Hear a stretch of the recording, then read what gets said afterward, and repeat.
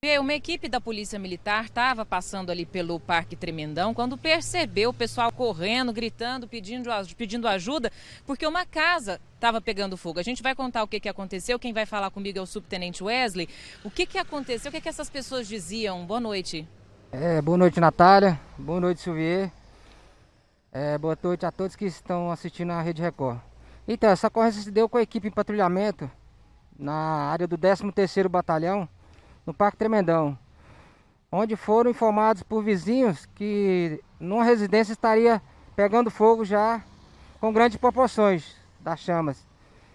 E de antemão a equipe já no, por ser um declive, já visualizou as chamas e fizeram o quadrado no quarteirão, onde conseguiu optar pelo arrombamento da, da, da residência, fazer o adentamento e, e conseguiram evitar que, que fosse uma tragédia maior, visto que tinha um botijão de gás que o fogo estava prestes a atingir esse botijão. Bom, tiraram esse botijão de gás, conseguiram arrebentar ali o portão para tentar entrar, é claro, já que o morador não estava lá. E qual foi a situação? O que, que ficou queimado? Não tinha mesmo ninguém dentro de casa.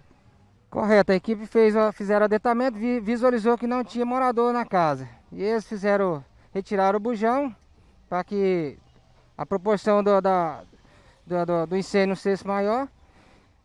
E começaram a apagar o fogo. Até então, juntamente com os vizinhos que colaboraram também, apagaram, começaram a apagar o fogo até a chegada do corpo de bombeiro.